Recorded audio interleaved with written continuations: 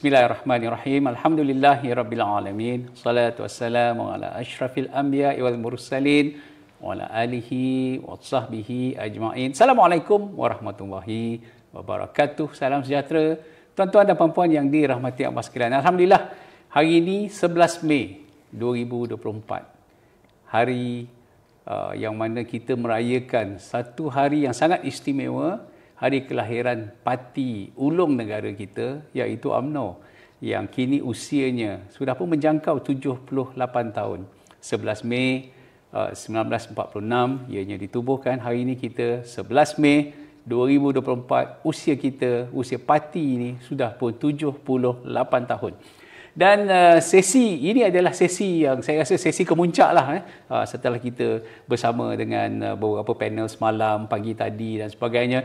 Uh, hari ini antara tokoh uh, yang lama, yang masih lagi hidup, yang masih lagi menyimpan uh, uh, cerita-cerita suka duka perjuangan UMNO. Tak lain tak bukan yang berhormat mulia Tengku Razali Hamzah. Apa khabar aku? Baik, Alhamdulillah. Sihat ya? Terima kasih. Uh, kalau uh, netizen masih ingat ya, uh, dah beberapa tahun dah uh, saya tak uh, berwawancara dengan yang berhormat mulia Tengku Razali Hamzah hari ini empat lima tahun dah empat lima tahun ha. jadi hari ini uh, kita dipertemukan kembali dan pastinya bila kita kembali tu ada sebab dan ada perkara yang kita nak yeah, yeah. Uh, berkongsi dengan uh, tuan-tuan dan puan-puan semua uh, dengan pengalaman dan juga sejarah yang ada yang disimpan di dalam uh, fikiran uh, apa ni di dalam pengetahuan yang bermakna mulia Tengku Razali. Ada banyak benda yang kita nak kongsi dengan uh, generasi masa kini yang mungkin selepas ini kalau satu hari nanti ku dah tak ada. Susah untuk kita cari maklumat-maklumat kalau kita dah tak tahu. Jadi uh, inilah uh, peluang yang uh, yang uh, besar yang kita ada untuk bersama dengan uh, apa ni uh, yang yang bermakna mulia Tengku Razali. Ku 78 tahun UMNO ini. Kita bermula dengan soalan yang mudah. Bagaimana pandanganku jatuh bangunnya UMNO daripada penubuhan kita 1946 hinggalah ke hari ini 2024 sepanjang ku terlibat dalam parti ini. Silakan. Datuk, apabila kita bercakap hal UMNO, kita tak bercakap pasal persatuan ataupun satu badan NGO ia merupakan satu perjuangan. Perjuangan bukan perjuangan buat kerdil yang dapat di kampung, yang ada di kampung. Ini satu bangsa. Satu bangsa. Dan kita tak boleh pandang remeh kepada perjuangan yang dibawa oleh sekumpulan manusia yang nak menebus maruah bangsa.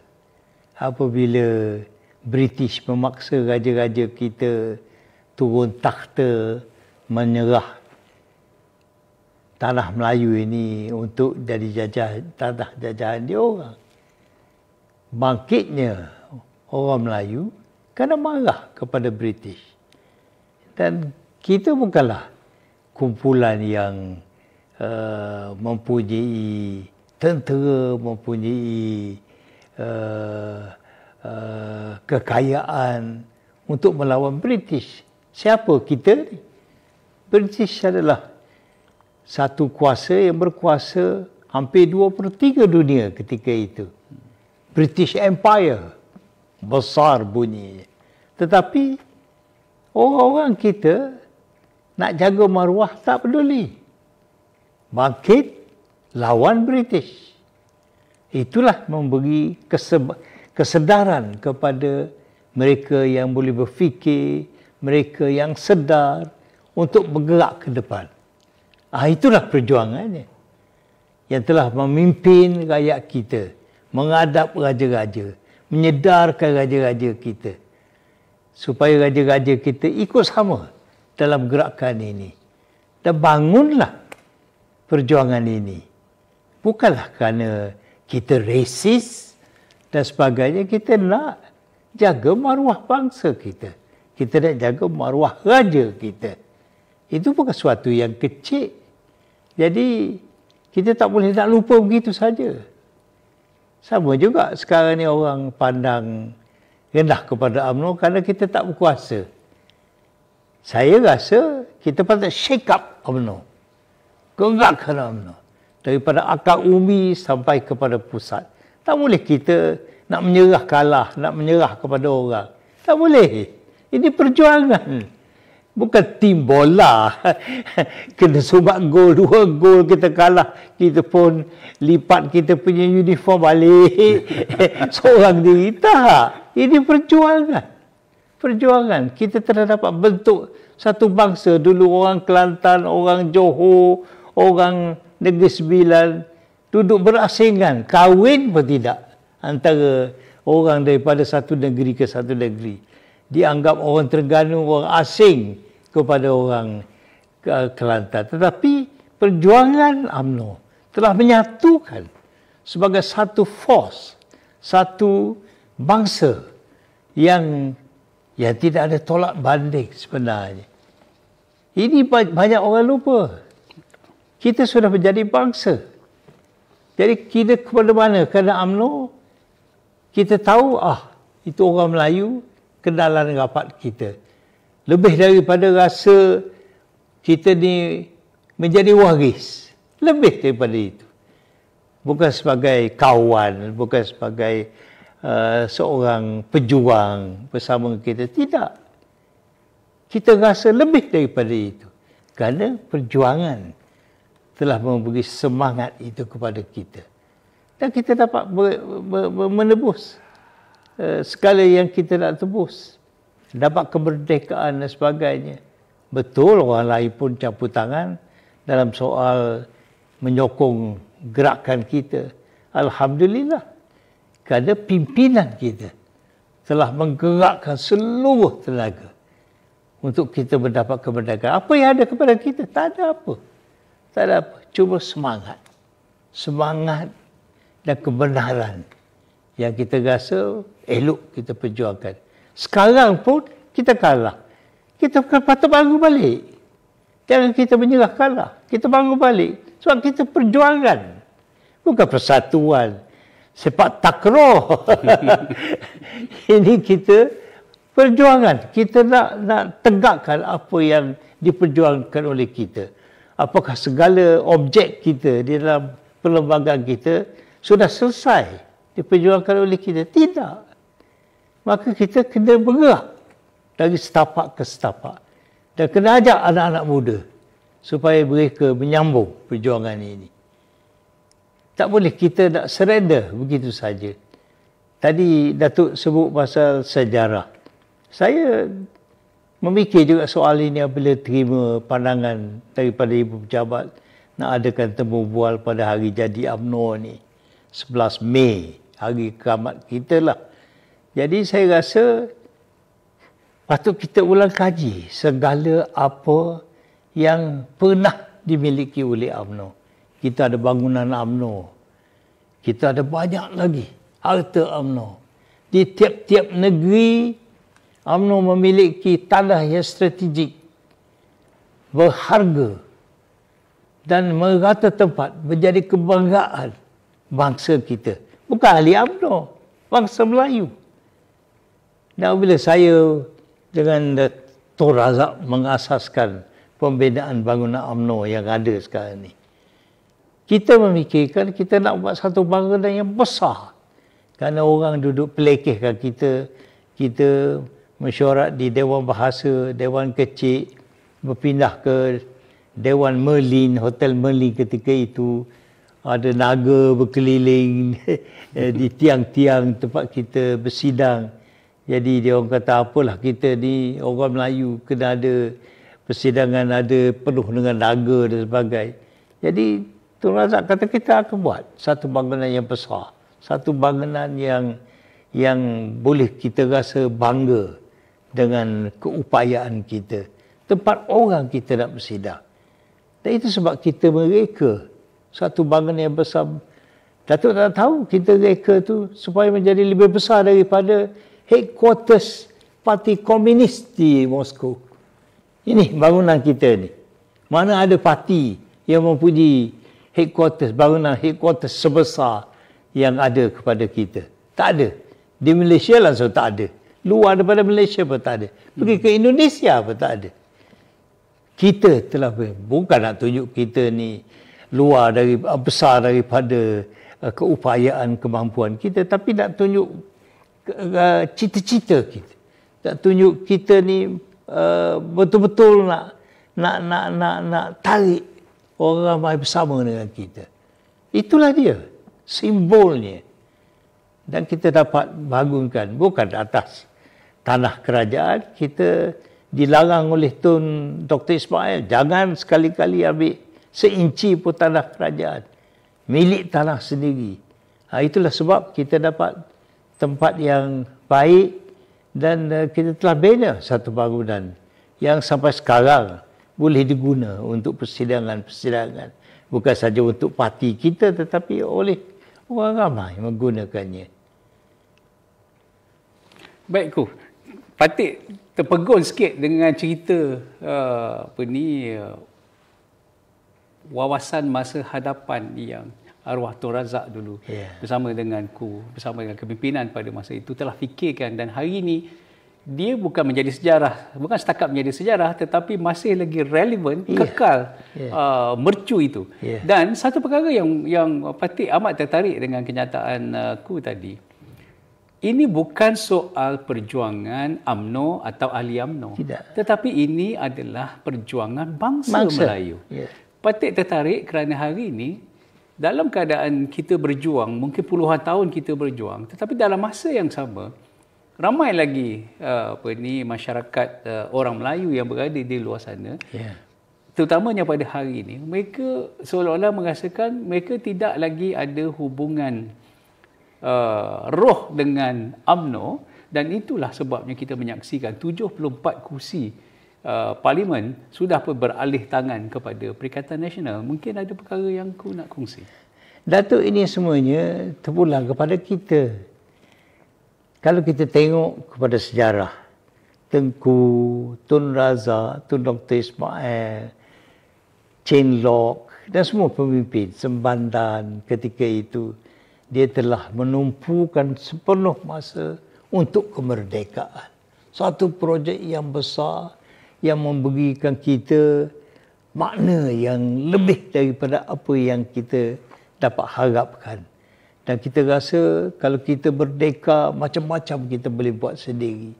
Ini memberikan ilham kepada pemimpin kita, pemimpin akan datang kita untuk menyambung perjuangan kita bersama. Dan saya sendiri berasa megah. Saya muda masa itu. Dan melihat kepada apa yang telah disuluh oleh pemimpin-pemimpin besar kita.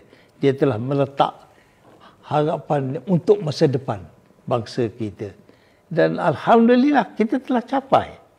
Orang penarmih kepada uh, pelajaran yang disampaikan kepada anak-anak kita.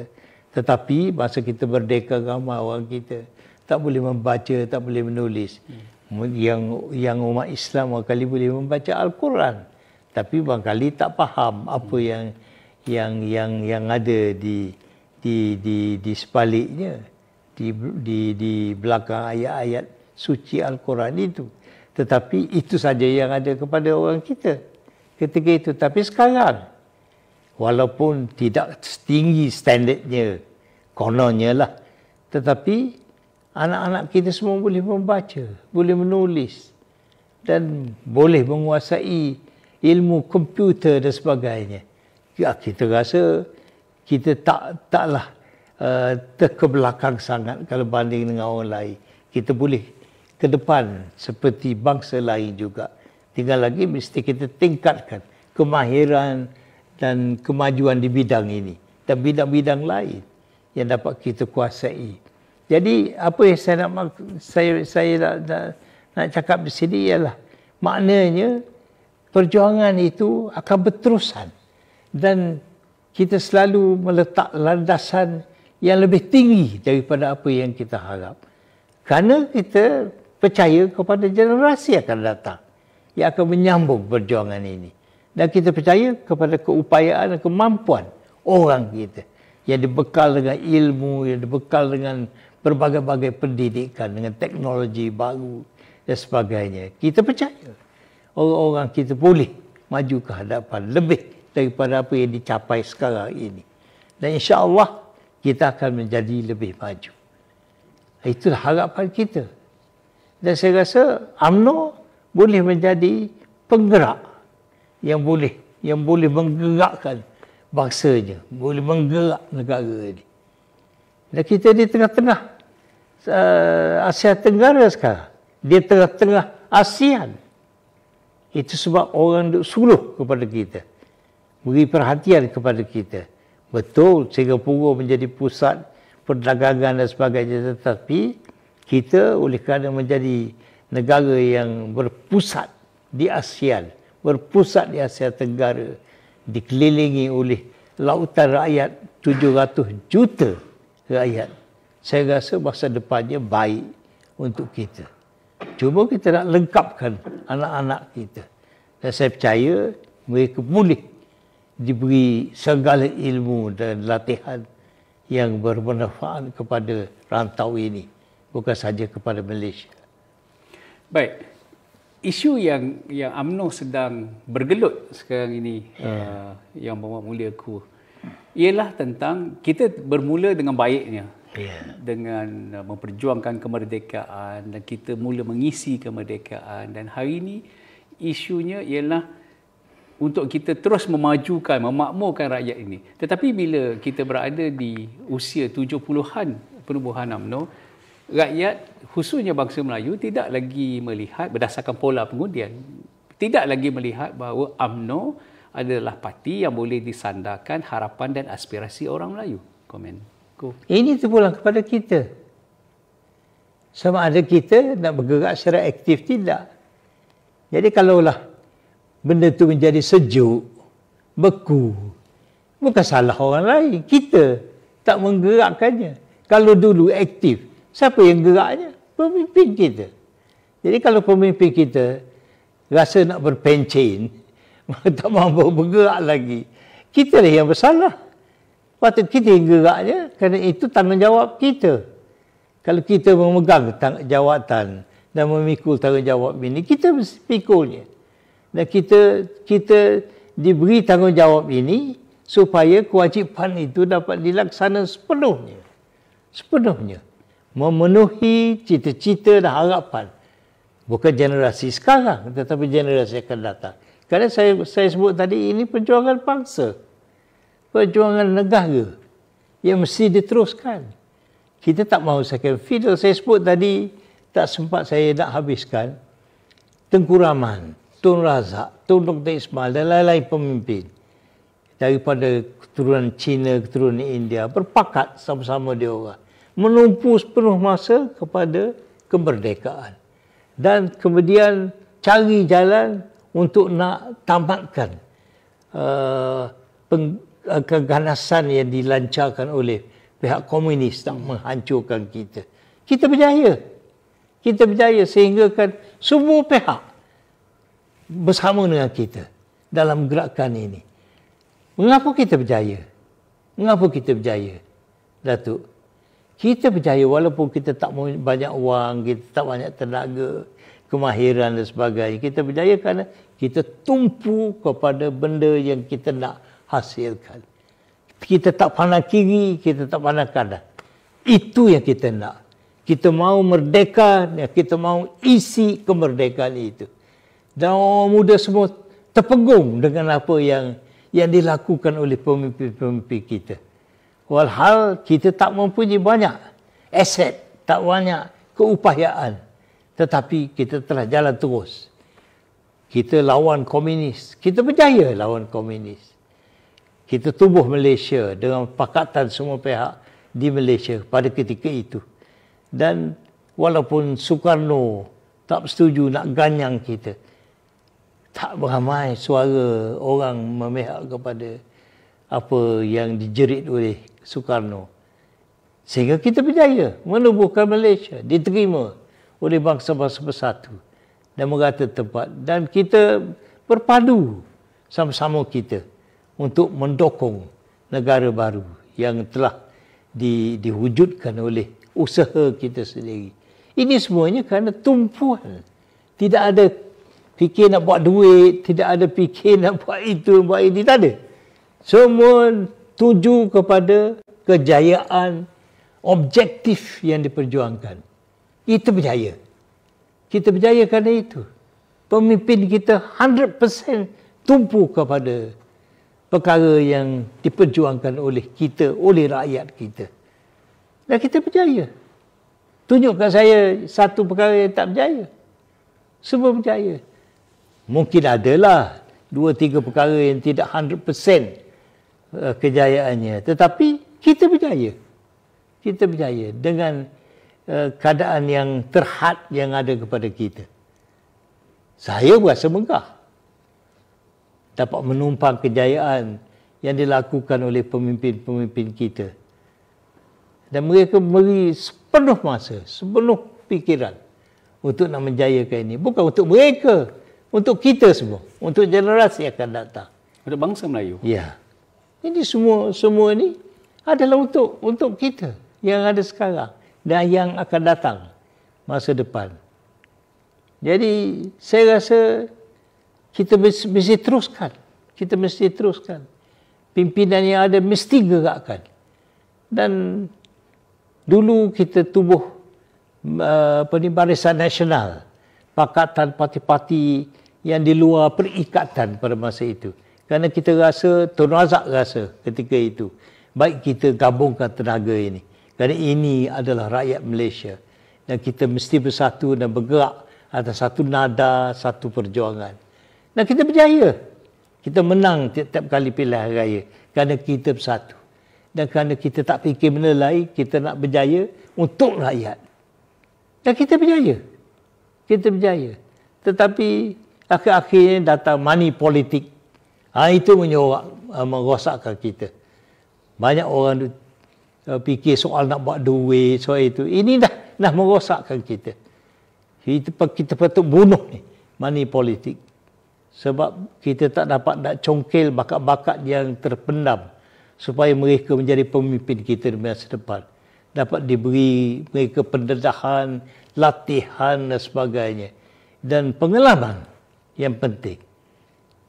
Ini semuanya peluang yang mesti diberi kepada mereka. Kalau tidak, mereka tak boleh menyusuli tindakan-tindakan yang telah pun dimulai oleh kita. Tumpuan itu penting. Tengku berjaya mendapat kemerdekaan kerana tumpuannya pembangunan luar bandar yang ditumpu oleh Tun Razak dijayakannya oleh kerana tumpuannya. Dia siang malam, tak ada fikir benda lain. Pembangunan untuk rakyat. Sekolah, uh, sekolah uh, vocational, sekolah uh, mara, semuanya dibina. Untuk tujuan anak-anak kita. Supaya dilengkapkan dengan ilmu dan kemahiran. Kita rasa bangga kita dapat jayakan ini. Kalau kita tak boleh nak banding dengan uh, negeri-negeri lain yang sudah maju mungkin lebih maju daripada kita tetapi kita banyak problem dalam negara sungguh pun demikian kita dapat atasi juga dan dapat menunjuk kejayaan di bidang-bidang tertentu baik ko patik menganalisa dan menghadam dan cuba menggali uh, apa ni kebijaksanaan yang ada dalam uh, diri uh, yang bawa muliaku. Sekarang ini dua uh, dua perkataan yang Patik rasa patut menjadi keutamaan kepada yeah. AMNO dan juga kepimpinan dan juga ahli-ahlinya. Iaitu kita harus kembali kepada agenda yeah. dan menumpukan sepenuh fokus kita untuk menjayakan mesti, agenda tersebut. Mesti, mesti. Itulah rahsia mesti kita Datuk. berjaya dulu. Mesti Datuk. Betul.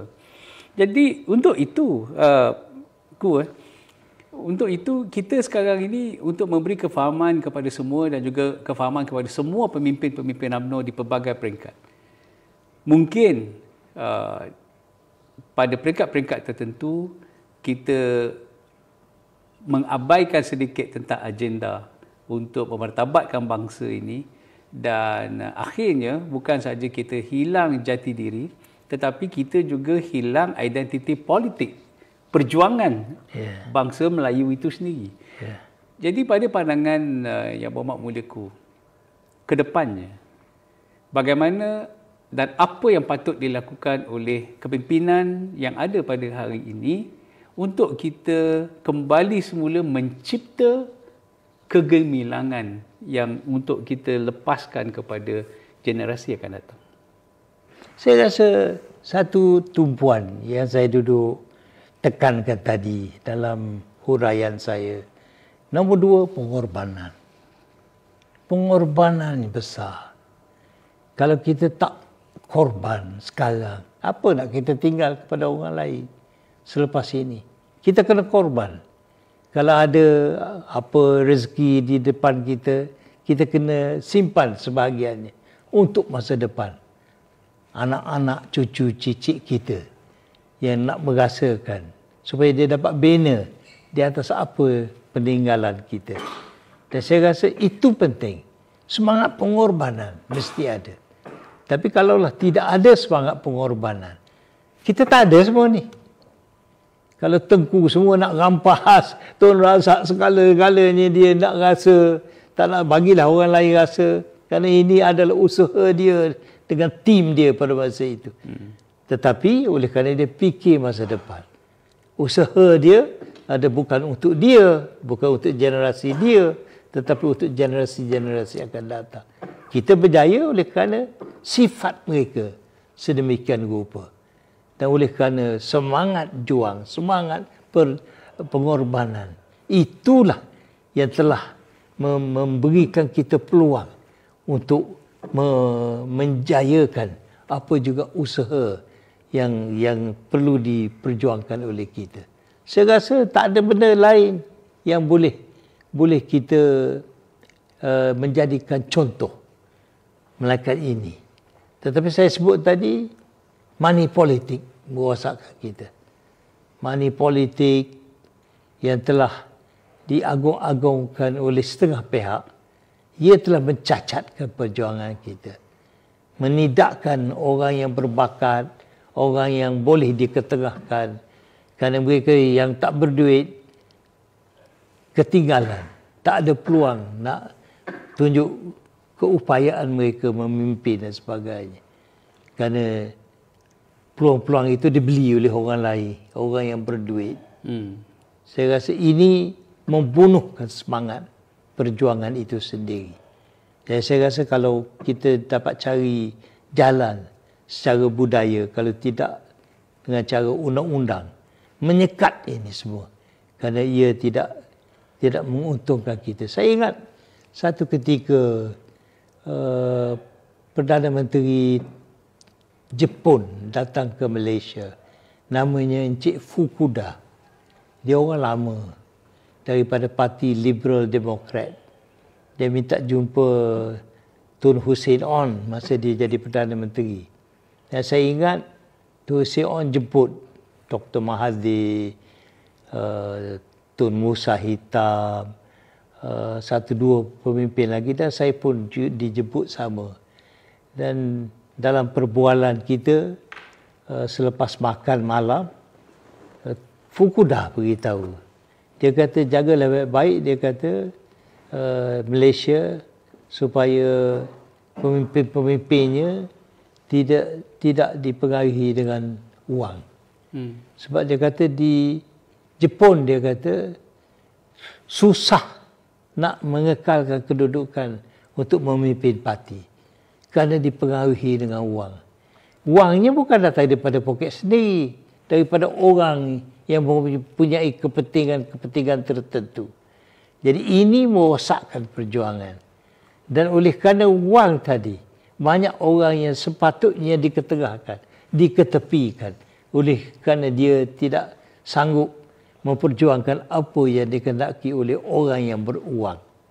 Jadi oleh kerana itu dia kata jagalah di Malaysia ini supaya politik wang tidak akan menguasai keadaan dalam politik. Dia kata itu bukan saja akan merosakkan kita, akan membunuh semangat perjuangan di kalangan kita. Saya masih ingat apa yang dinyatakan oleh Encik Fukuda dalam perbualan kita secara ringkas. Jadi ini jugalah yang menjadi perkara yang melemahkan kita. Kita salah pilih orang, oleh kerana dia ada duit. Bukan kerana keupayaan dia memimpin ataupun kemampuan dia untuk memberi kita pemimpin yang dedikasi dan sebagainya. Jadi saya rasa generasi baru patut memikir soal ini. Dan balik kepada soal wang ni. Saya dah ingat ke Datuk dan saya sendiri, saya sendiri pun. UMNO ni satu parti yang kaya. Memiliki harta di sana sini. Tadi saya sebut dia milik banyak harta di negeri-negeri yang sekarang ini berharga dari segi nilaian harta tanah yang mereka milik. Tetapi bukan itu saja. Banyak lagi. Dan saya pernah menjadi bendahari kita membeli banyak saham dan sebagainya. Kita nak tanya sekarang ke mana pergi harta ni. Saya rasa kalau ambil nilai harta-harta ni dulu, mungkin sudah bilion punya nilaian. Ke mana sudah pergi? Saya tahunya bangunan UMNO tu masih nama saya sebagai trustee, sebagai pemegang amanah dan dimaklumkan tanah itu juga ya. adalah tanah daripada ku sendiri. Iyalah saya saya kerana masa tu Tun Dr Ismail tak bagi kita uh, ambil tanah kerajaan je saya kata saya tawar tapak tapak bangunan yang saya nak bina ke untuk UMNO buat bangunan UMNO. Itulah menjadikan tapak uh, apa ni P, PWTC. Jadi sekarang ni kita nak soal apakah itu masih UMNO punya. Jangan digadai oleh sesiapa yang nak cari kesempatan buat duit uh, menerusi penjualan harta benda milik UMNO. Jadi saya rasa patut kita gali sebenarnya ini. Dan kita patut uh, tengok juga apabila UMNO baru ditubuhkan dulu. Tubuh UMNO baru tidak mengikut cara undang-undang bukan atas kehendak orang ramai tetapi oleh kerana kehendak dua tiga pemimpin UMNO yang ada kepentingan ketika itu hmm. nak jaga diri mereka semata-mata jadi oleh kerana itu kepentingan orang ramai telah diketepikan iaitu UMNO lama yang kita rayakan hari ini hmm. kerana UMNO lama itu didokong oleh bangsa kita bukan oleh satu dua orang manusia. Dan sepatutnya sekarang Datuk ambil kesempatan ini patut digerakkan. Kita menghidupkan semula UMNO lama itu. Sebab tidak ada dosa UMNO lama. Padahal kita berkuasa dua per tiga di parlimen dan di tiap-tiap Dewan Undangan Negeri. Menang dengan sokongan rakyat ramai. Tiba-tiba diharamkan oleh mahkamah atas kesalahan tak ada orang lain. Orang orang UMNO itu sendiri. Betul. Jadi saya rasa perkara ini aneh. Dan patut kita tebus kembali supaya UMNO yang ditubuh di Istana Besar uh, Johor Johor Baru akan akan dihidupkan semula dengan semangat yang lama dengan uh, dengan perjuangan yang telah dibawa secara luhur untuk membela kepentingan orang Melayu.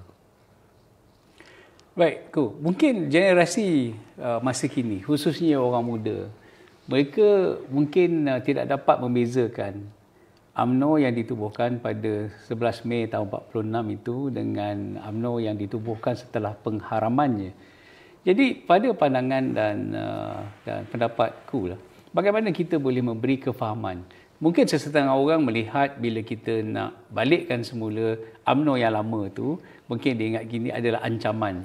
Tetapi kalau kita nak meneruskan legasi dari segi akibat telah pun dibatalkan, maka dibuat UMNO yang baru bagi meneruskan larian itu. Dan uh, persoalannya, apakah ada keperluan untuk kita uh, menghidupkan UMNO yang lama? Datuk, kita kena balik kepada sejarah. Hari ini pun kita meraya ulang tahun ke-78. Kerana UMNO ini ditubuh dalam tahun 46. 46. 46. Bukan UMNO ditubuh dalam tahun 88. Hmm. Sejarah itu penting bagi kita. Maknanya usia kita 78 tahun telah banyak jasa dilakukan oleh para pemimpin yang berkesempatan memimpin uh, parti dan negara dan telah dapat mencurah banyak idea yang telah memberi sumbangan kepada pembangunan tanah air dan dan dan dan buah fikiran yang yang berguna untuk bangsa kita. Yang saya rasa semua fikir, orang kena fikir soal ni. Kita belajar sejarah tak berhenti-henti. Hari-hari kita toleh kepada apa yang berlaku dalam sejarah untuk menjadi sempadan kepada kita supaya menjadi pelajaran agar kita tidak akan uh, mengulangi kesilapan kesalahan yang pernah dilakukan dulu dan melakukan benda-benda yang baik untuk masa depan. Yang saya rasa ini perlu diperjuangkan oleh kita. Jadi kalaulah kita nak merayakan UMNO hari ini 78 tahun kita kata kita kena mula dengan 11 hari bulan Mei tahun 46 tak boleh bermula dengan 88 uh, 88 lagi pun orang yang yang mengasas penubuhan UMNO baru. Sudah tak ada dah dia cabut lagi dah. Dia cabut lagi.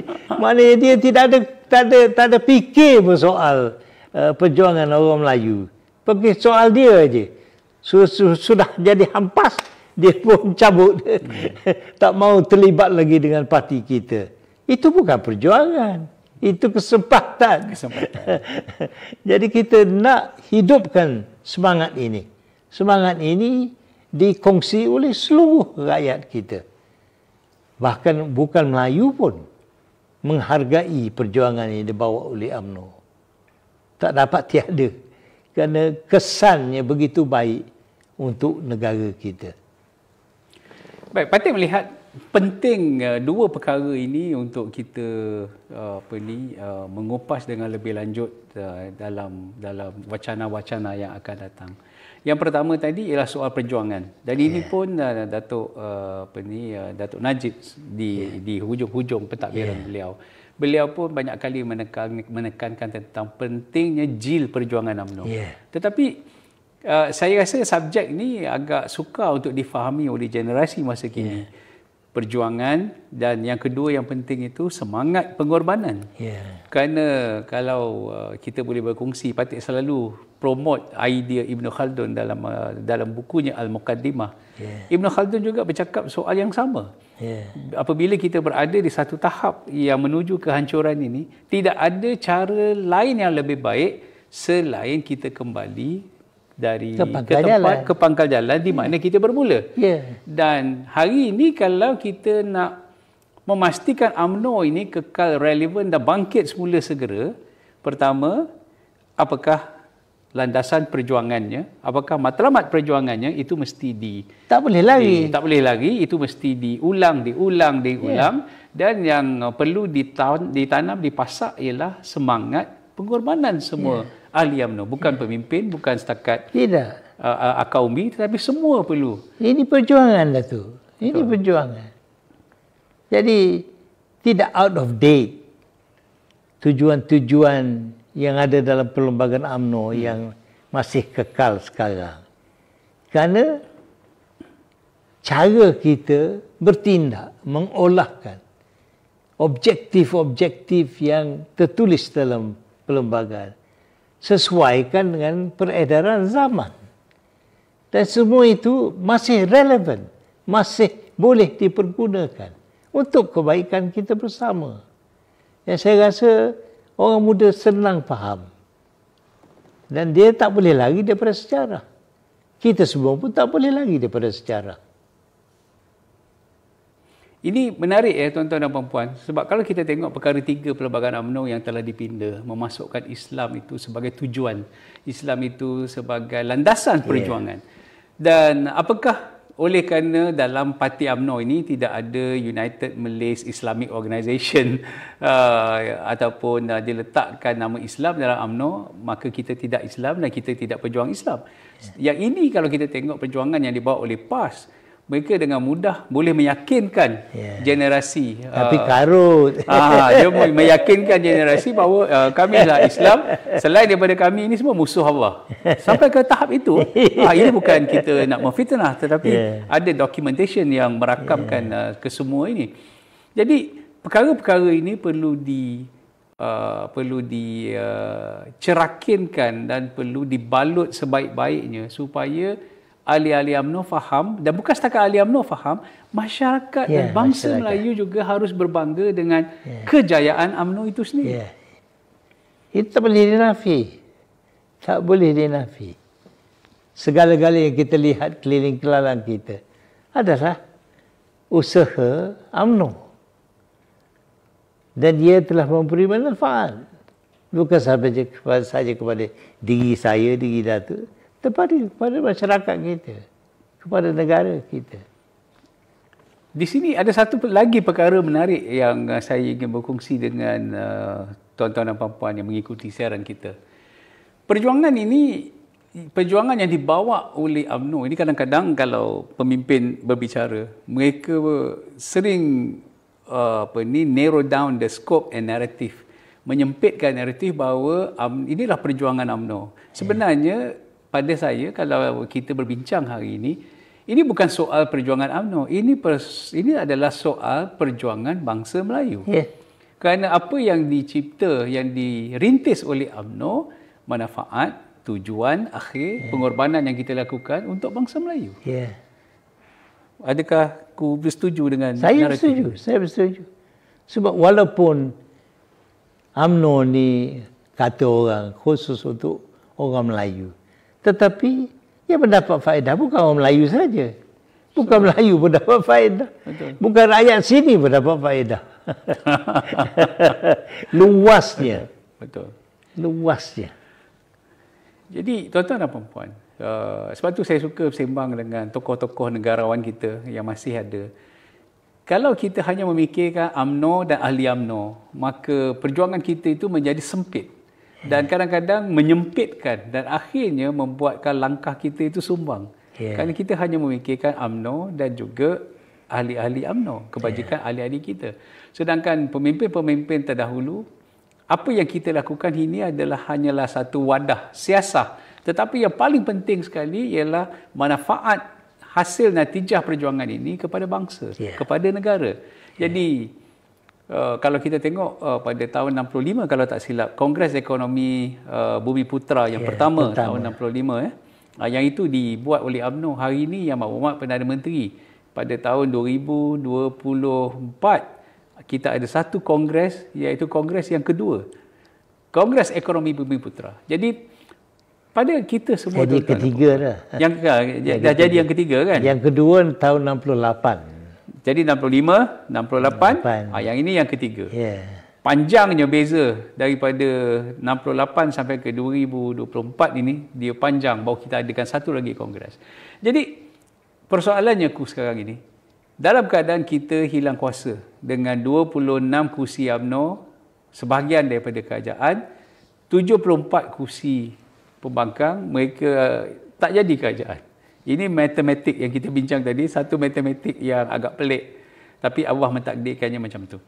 Soalannya aku, dengan 26 kursi ini, bagaimana AMNO boleh melakar sebuah agenda yang mampu meyakinkan bangsa Melayu, khususnya, ini ini uh, apa ni orang kata ini silan AMNO ni, bagaimana AMNO boleh meyakinkan bangsa Melayu untuk terus bersama, memujuk mereka bersama-sama bukan bersama dengan parti tetapi bersama dengan perjuangan ini. Yeah. Pandangan pandanganku. Yalah soalnya kita guna Melayu tak Melayu tetapi yang kita bimbang juga orang Melayu akan diperalatkan oleh bukan Melayu. Hmm. Itu pun menjadi bahaya kepada kita. Jadi kalau kita semuanya menerima hakikat bahawa seperjuangan UMNO ini adalah untuk semua bermula dengan orang Melayu dan memberi manfaat kepada semua. Dengan sendirinya merangkumi setiap daripada kita yang ada di negara kita. Hmm. Termasuk bukan Melayu pun. Jadi oleh kerana itu saya rasa saya rasa perlu difahami oleh semua pihak termasuk generasi baru kita bahawa perjuangan ini adalah untuk semua. Hmm. Dan uh, yang akan menjadi cabaran kepada kepimpinan yang ada pada hari ini dan kepimpinan yang ada pada akan datang kerana kita pun tak lama lagi uh, dekat dunia ni ku eh. dan ini larian ini akan diteruskan oleh generasi-generasi akan datang ialah pada pada patik ialah untuk mencipta mencipta sebuah agenda yeah. mungkin kita perlukan sebuah agenda baru yeah. Yang uh, mampu menggamit dulu kita mudah menyatukan rakyat kerana kita ada agenda untuk memerdekakan negara yeah. itu mudah difaham dan kita fokus yeah. kita dapat saya suka apa yang ku sebut tadi kita ada agenda kita bagi tumpuan kita berjaya yeah. kita ada lagi agenda kita bagi tumpuan kita berjaya yeah kedepannya saya rasa formula yang sama juga kita perlukan. Yeah. Apa agendanya? Bagaimana kita nak menumpukan semua tenaga dan usaha kita dan akhirnya kita nakkan di hujungnya itu kita berjaya. Yeah. Sedangkan dalam masa yang sama, cabaran kita ialah cabaran kita kita ada pelbagai objektif. Antara objektif parti, objektif negara, kita juga ada personal interest yeah. yang akhirnya kita terkubur dengan personal interest kita itu money yeah. politics yeah. itu yang tak dapat di, di dipisahkan yang akhirnya menyebabkan rakyat juga hilang kepercayaan yeah. kepada uh, kita sebagai sebuah parti baik pesan uh, yang berhormat mulia tengku kepada semua uh, ahli-ahli UMNO pelbagai lapisan pelbagai peringkat apakah yang perlu kita fokuskan ke depannya untuk kita kembali mendapat kepercayaan rakyat?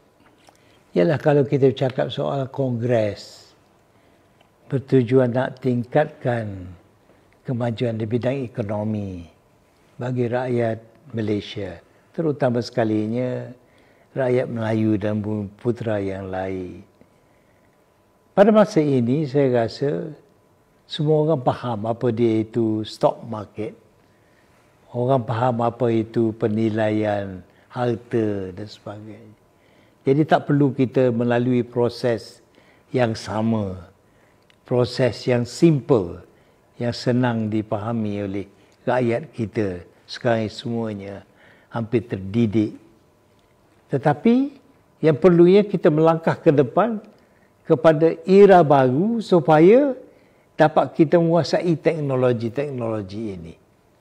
Dan orang baru sememangnya ahli dalam bidang-bidang ini. Dan mereka lah patut mempelopori jalan yang menesabah, yang yang praktikal hmm. untuk masa depan. Dan saya yakin orang Melayu boleh lakukan itu. Dengan sedikit panduan, barangkali uh, bantuan daripada pihak yang berpengaruh di dalam parti. Tetapi kita tak boleh duduk diam. Tak boleh duduk diam menyerah kalah. Walaupun tadi Datuk dah sebut kita hanya tinggal beberapa kursi tetapi ditakdirkan dapat juga kita berkongsi kuasa. Bagi saya itu tak penting pada masa ini. Kita mesti melangkah ke depan. Melangkah ke depan dan kita mesti merebut peluang. Kalau dulu kita dalam Barisan Nasional berkuasa, sekarang dalam Pakatan Harapan kita hanya membantu untuk dapat kuasa. Tapi kita bukan menjadi anggota Pakatan Harapan. Betul. Jadi oleh kerana itu, bukan kita bercerai, tetapi kita berasingan. Perjuangan kita tetap apa yang ditentukan oleh agenda UMNO itu sendiri. Dengan segala Uh, tujuan-tujuan pokok yang tertulis dalam perlembagaan kita. Kita boleh melangkah ke depan, kita boleh maju ke depan, terpulang kepada kita. Dan pimpinan parti di semua peringkat mesti aktif. Tidak ada sebab mengapa mereka mesti pencen. Kalau mereka mem- mem- mem- mem- menerima tanggungjawab menjadi pemimpin, mereka mesti melangkah ke depan dan kena gerakkan parti. Kena beraktif. Itu saja harapan saya Kalau tidak kita tak lama lagi akan membaca talqin untuk parti kita sendiri. Kita tak mau dengar itu. Kita nak maju ke depan kerana kita mempunyai keupayaan. Pemimpin kita memang boleh bila masa dipanggil untuk berkhidmat, menawar khidmat yang baik. Kerana kita sudah buktikan sepanjang masa sejak merdeka kita telah berjaya dan tidak ada sebab mengapa yang ada eh, sekarang ini tak boleh melangkah ke depan untuk melakukan semuanya itu. Saya yakin kita boleh berjaya. Baik, tuan-tuan dan puan uh, kita dapat banyak uh, kebijaksanaan dari segi idea dan juga gagasan masa hadapan. Apapun agenda masa hadapan perlu kita lakar.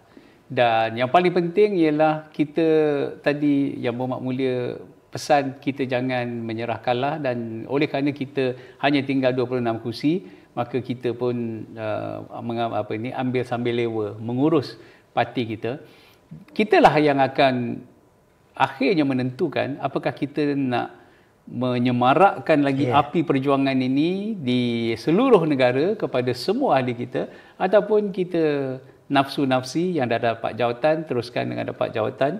Yang tak ada jawatan buatlah apa yang patut. Kitalah yang akan mencorakkan. Betul. Jadi betul. pada saya yang paling penting ialah seluruh saf kepimpinan tak kira yang berada di pusat yang berada di negeri di bahagian di cawangan yeah. patut mengambil kesempatan dengan adanya mesyuarat-mesyuarat cawangan bahagian yeah. yang ada yang sedang berjalan sekarang ini untuk kita mencari jalan bagi bagaimana mengaktifkan yeah dan bagaimana kita merapatkan diri kita dengan masyarakat. Dan daripada situ kita melakar agenda yang akan kita bawa supaya kita kekal relevan. Saya saya suka dengan apa yang yang yang bermak mula sebut tadi. Kita kena menggerakkan. We have to shake amno ini. Kita menggerakkan amno ini dan jangan dibiarkan kita uh, mengikut saja uh, apa ni uh, trend semasa. Uh, jadi apa yang kita nak buat dalam masa 3 tahun ke hadapan? Yeah trend yang patut kita buat di uh, di masa hadapan ialah mengembalikan tiga tahun ni tak lama masanya sekejap aja oh, sekejap aja sekejap aja jadi kalau ada mentaliti yeah. pemimpin-pemimpin yang mengatakan tunggu tiga tahun lagi baru kita berpolitik pada saya itu bukan bertujuan yeah. untuk menyemai perjuangan tetapi itu hanya untuk menjalankan tugas habis term dah bye-bye pada orang yeah. lain pada saya kesian kepada ahli-ahli kita yang berjuang wanita UMNO uh, yang berjuang puteri, di kampung-kampung ya. puteri pemuda. Pada saya kita mesti ada satu gagasan mesti ada satu agenda. Dan inilah yang akan kita garap. Dan insyaallah kita akan bawa pesan-pesan daripada yang berhormat muliaku untuk kita realisasikan uh, kita boleh kembangkan idea ini uh, membuat satu agenda yang bukan agenda itu untuk AMNO tetapi agenda itu untuk bangsa. Masyarakat akan menyokong AMNO kalau agenda itu adalah agenda mereka dan bukan ya. agenda parti. Betul. Jadi kita ucap terima kasih kepada Yang Berhormat Mulia Tengku Razali Hamzah yang sudi bersama dengan kita pada petang ini. Uh, hari ini hari Sabtu, sekejap lagi kita akan ada uh, apa ini uh, uh, bacaan Yasin dan uh, solat hajat di Dewan Tun Hussein On. Kita serulah kepada mereka yang berada di apa ni persekitaran kita ni yang dekat dengan uh, World Trade Center untuk sama-sama ke Dewan Tun Hussein On bersama dengan pemimpin. Dan semoga agenda ini insyaallah selagi saya ada di dalam AMNO di ibu pejabat kita akan gerakkan supaya kita akan ada satu agenda. Dan kalau kami tak boleh lakukan kita akan minta generasi yang akan datang orang lain yang akan menggantikan tempat kita untuk meneruskan larian ini. Insyaallah. Insyaallah. Terima kasih yang mulia terima kasih kepada tuan-tuan dan puan-puan yang mengikuti siaran kita. kita jumpa lagi uh, di masa hadapan. Insyaallah semoga kita akan ada jawapan. Apakah agenda yang nak kita bawa? Apakah tumpuan yang akan kita berikan? Dan apakah semangat pengorbanan yang akan kita tuntut bukan untuk UMNO semata-mata tetapi untuk bangsa dan juga untuk agama dan juga negara. Wabillahi taufiq wal hidayah. Assalamualaikum warahmatullahi wabarakatuh. Salam sejahtera. Terima kasih. Terima kasih. Assalamualaikum.